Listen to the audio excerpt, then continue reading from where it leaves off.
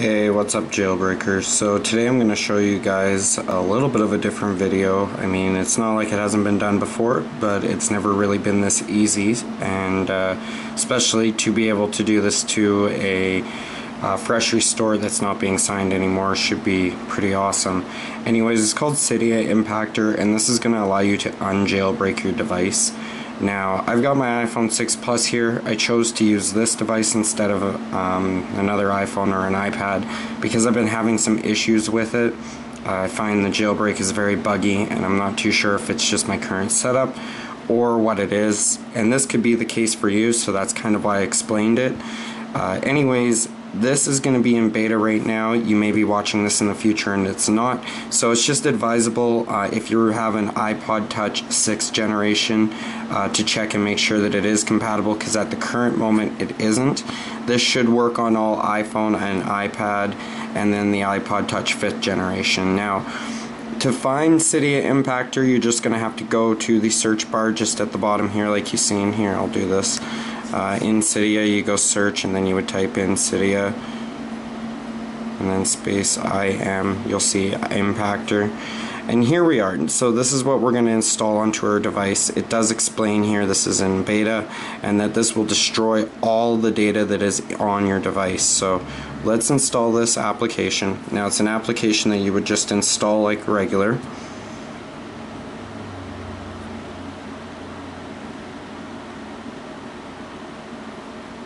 So once that's complete, you can just exit out of Cydia and you'll want to go over here and you'll see the impactor. So we'll want to open up this application. Now, you want to be able, you want to read through this quickly, make sure that um, everything, uh, you've gone through all of this. Now I'm just going to kind of go through the brief, what you guys need to do to do this. Um, still, when you go to do this, just read this through here. So uh, this will return your device to a stock iOS firmware. It'll preserve your firmware version so you can jailbreak again. Uh, so if you tap the bottom of the screen there, you should know it's going to delete all of your data. You need to be connected to the internet. You should not be on a low battery, so I'm at 80% here, so I'm okay. You need to avoid doing anything on the device, and that is very important. Once this begins, leave it alone. Uh, you will see a lot of text going on now. This is going to go for quite a while, and may seem to freeze up or do whatever it does, you just need to leave it alone. Uh, you will need to reactivate this device after you're finished, so make sure you have a SIM card kicking around. And you can use the jailbreak again. So I'm going to hit this here and go, are you sure? And then we're going to confirm all. And then you can see here we have a bit of a loading bar. And this right here, this is downloading and extracting the firmware and reprogramming it. So I'm going to be quiet now and we'll just sit here and watch.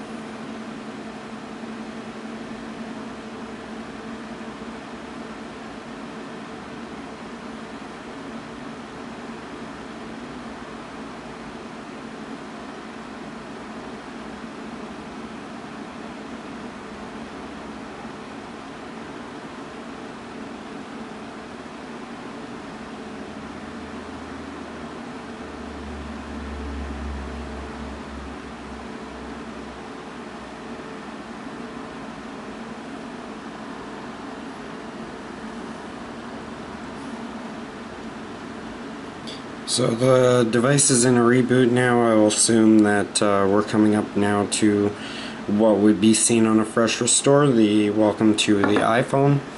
Uh, so that's how you do the full restore uh, of your device jailbroken. This way you won't lose the firmware you're on. So in the previous months or previous future months to come, when iOS 9 is available or even iOS 8.4.1 and above that may not be jailbreakable. This will be a way to preserve the jailbreak and restore the device if you're having some issues. So this is back now to a stock firmware, no jailbreak. I can jailbreak it again.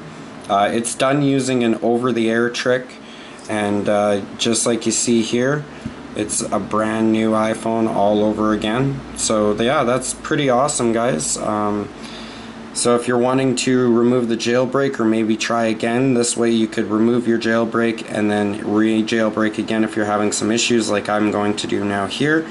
And this is also a great way to sell your device if you want to wipe it completely, sell it in a jailbroken state where you can say yes it's a jailbroken firmware.